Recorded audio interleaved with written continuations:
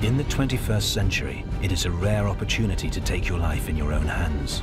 But in Pamplona, for a few minutes of each day, on eight consecutive days, the Encierro defies expectation and allows the human spirit to play with death.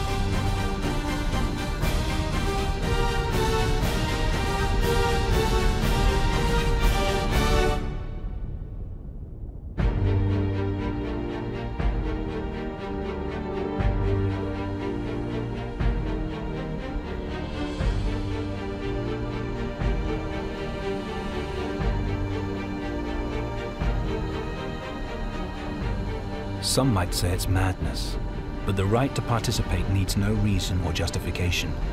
It is a very private and personal experience played out during a very public spectacle.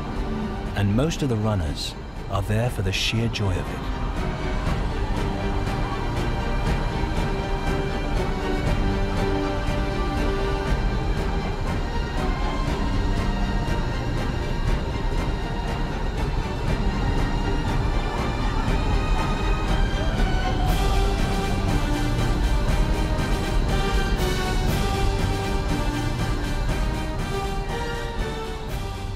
For some, the event marks the awakening of a new chapter in their lives.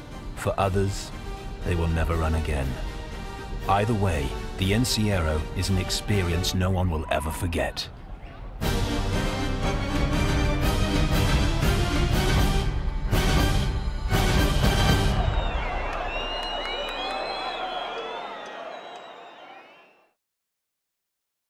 Available now on iTunes.